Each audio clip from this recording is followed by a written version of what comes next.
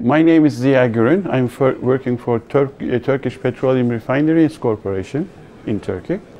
My position is I am Technical Services and Research and Development Director.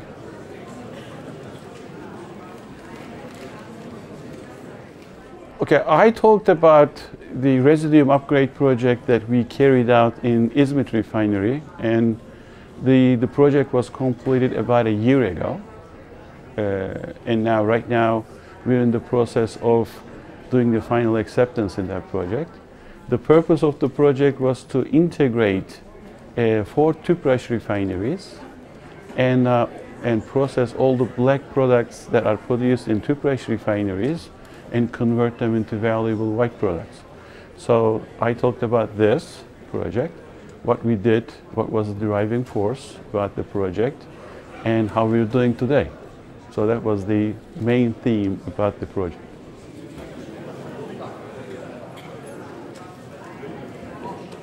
Survival in, in refining business is difficult. We have a very volatile environment as far as the product, product prices, crude oil prices, um, and, um, and also uh, the market conditions. And also environmental uh, and uh, legislative pressures are also on the refineries.